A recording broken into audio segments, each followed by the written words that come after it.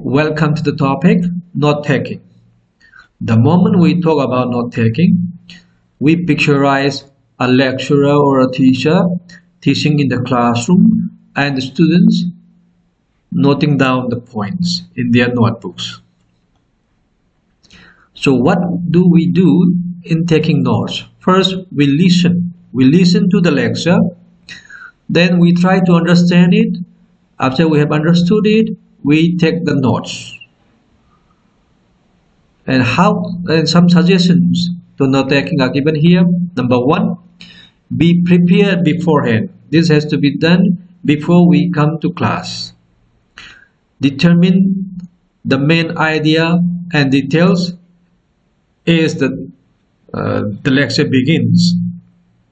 Then learn the speaker's language cues like pauses, strays, question, or even repetitions. Because the lecturer will be repeating only those points which are important.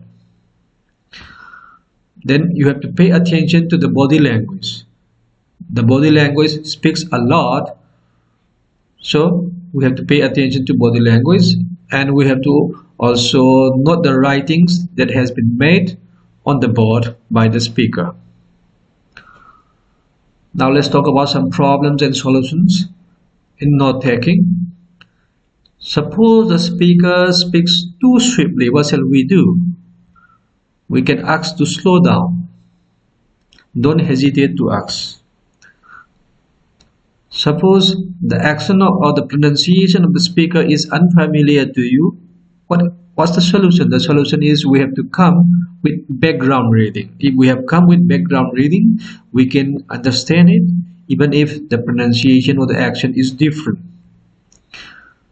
What if the class is noisy? No problem, you have to concentrate on the G's or the main points. You don't need to listen to every word. What if there is insufficient background knowledge?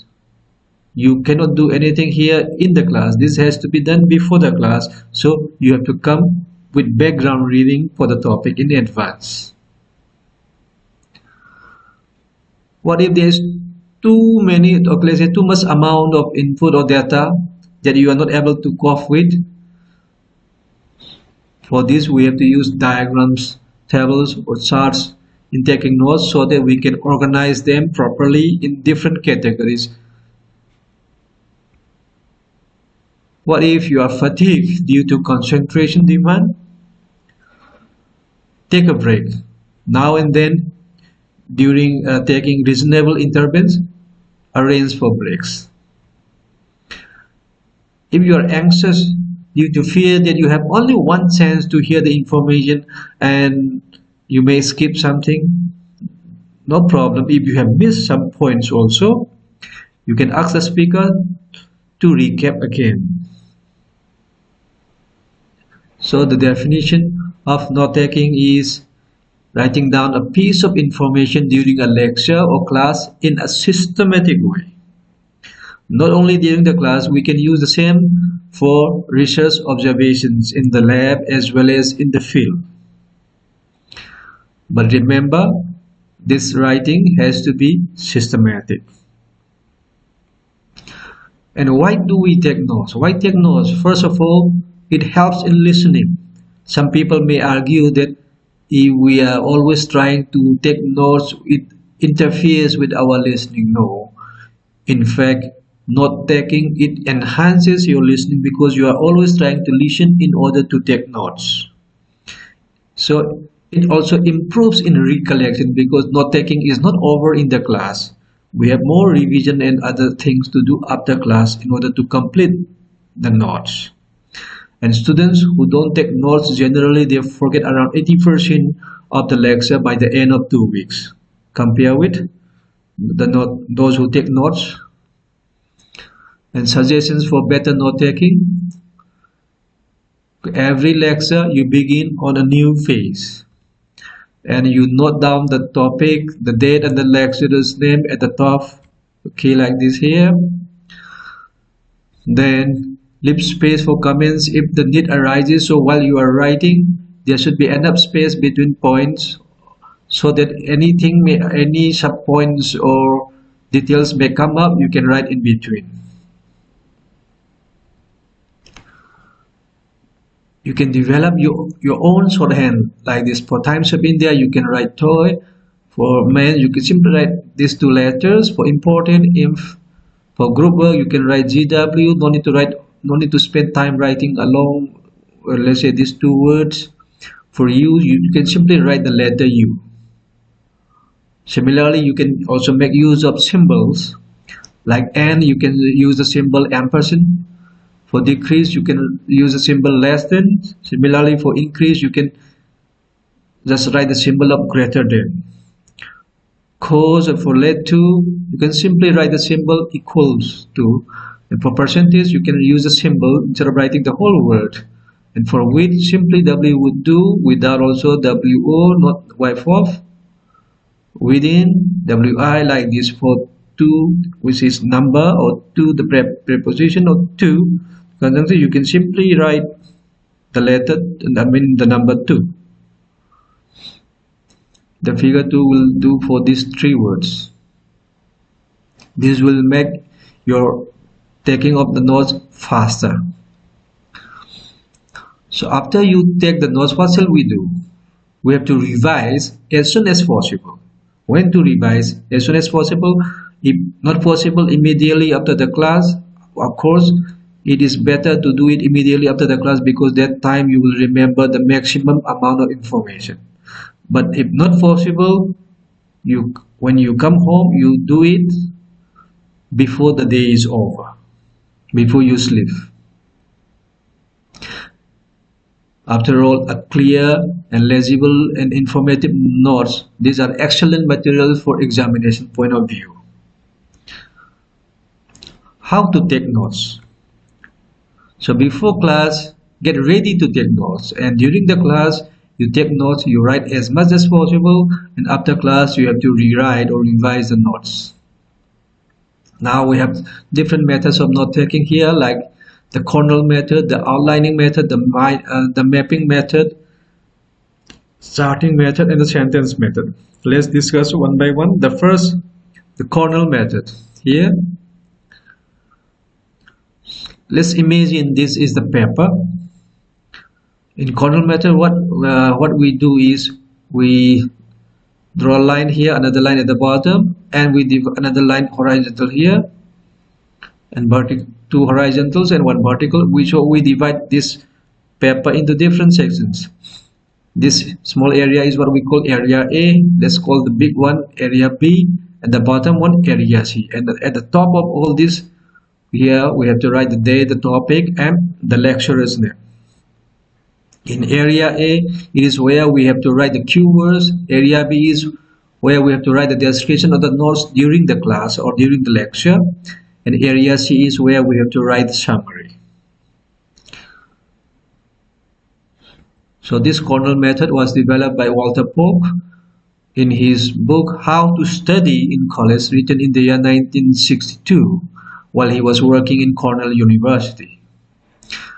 So there are six steps to writing, uh, let's say not taking in Cornell method, or let's we call it 6R, record, reduce, recite, reflect, recapitulate, and review. So first of all, let's talk about record. So during the lecture, we have to record as many facts and ideas as possible in taking notes. And after that, after the class, we have to read through the notes and then reduce to keywords, phrases, and questions. Suppose this is the page. Here you have taken the notes. So this area here this is where you have to write the keywords or the questions.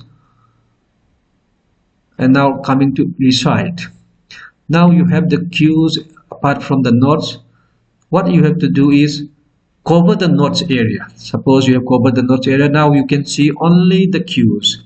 So look at the cues and then say or answer aloud the details regarding the cues and see and let's say or check if it is correct or not by removing the cover.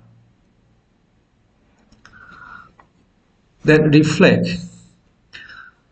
Here we compare the facts and ideas that we had learned or uh, we have learned in the class with our previous knowledge and we come reflect this is reflection and coming to recapitulate. Recapitulate and write a summary. Suppose yes you have written the notes in the class and after the class you have uh, deduced the cues then now is you have to recapitulate and write the summary here at the bottom then review. We have to review at least we have to spend let's say spend at least 10 minutes reviewing your notes every day. It will help you to memorize a lot. So next method we'll talk about outline method. Outlining method here we draw a line here in the paper where at the top we write the date topic and the lecturer's name first of all we write the heading or the main topic follows then which is followed by subtopic. And this subtopic may have points under the subtopic and more points and still more points according to the uh, as the lecture goes on. Then we have another subtopic. For this also we have points and more points and still more points. Then we go to another main topic. For this another main topic also we have subtopics for which we have similarly points more points and yet more points. And another subtopic comes up for similarly we have more points here also. And then we have finished this one another main topic also come up. Like this it goes on. This is the outlining method. But remember in this outlining method what we have to take care of first of all it should be well categorized and organized. If it is not organized well it would be hard to review later on. And remember on the left side here use indents. Using indents it helps to differentiate the main topic top subtopic as well as the points in the subtopics. And you can develop your own system now let's come to the outlining method. Suppose uh, example here. Suppose you have uh, the topic is pollution. Definition. Here you can have the introduction of uh, this uh, pollution is the introduction of harmful materials to the environment. Like this you can write. And types you can write water pollution contamination of water with harmful materials industrial waste insecticides in water wastewater treatment plastic waste reduction. Like this you can take the notes. And another subtopic comes here. Air pollution for which also points would come. And yet more points would come. Like this it goes on. This is and another pollution comes. Like this it will go on. This is what we call outlining method. Now outlining method is gone. Now let's talk about the mapping method. Some people call it mind mapping. In mind mapping we take a large paper and we begin in the center of the paper where we write the main idea. And this main idea we may have sub ideas. And each sub ideas we may further have ideas or topics yet more ideas and topics for each sub idea. Example suppose today's lecture is about pollution. You can have about the one subtopic can be water pollution another subtopic air pollution and another subtopic soil pollution so for water pollution, we may have uh, pollutants like pathogens, industrial waste, fertilizer. For air pollution, we may have pollutants like carbon monoxide, lead, or carbon fluoro, uh, chlorofluorocarbons. And for soil pollution, we may have lead, mercury, and insecticides. Like this, it will go on branching. So this is mapping method or mind mapping. Then number four, charting method. In charting method, or which sometimes we call taxonomizing method, suppose main topic is here. We draw a table like this with three, three or more columns where we have subtopic one, two, or three. And for each subtopic, we have key points one, two, three. We keep on writing the points. Similarly, for subtopic two also, we keep on writing the, the key points and it we continue the same thing for the next subtopic also this is how we do it in taxonomizing or sorting method now the last one the sentence method the sentence method this is a method which is not a proper note taking technique but simply just we keep on writing points after points as the lecturer keeps speaking in the class. Sometimes we can number the points for easy identification later on. If possible we have to include certain pictures and drawings also how to take notes now. Now that we have seen the different methods how to take notes. First of all come prepared to the class. Then take enough time in note taking. And take as much notes as possible during the lecture. And take the notes using any method of your choice. All the methods there is no method which is better than the other. All of them are good enough you choose any of them and if possible you, you can even modify them. You can develop your own model or your own, own method also. And you can use symbols and shorthand. Using symbols and shorthand makes your writing faster so that you can listen more and write more in detail. And after that you have to revise. Revision should be after the class. This is how we write the notes I mean not taking. Thank you